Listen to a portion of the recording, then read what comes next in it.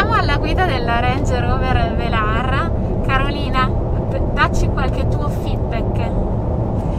Beh, devo dire che sono felicissima che mi sia stata assegnata quest'auto perché è spaziale, è comodissima. Eh, io poi sono un amante dei SUV e quindi questa per me è un po' la regina o il re dei SUV, a seconda che sia maschile o femminile.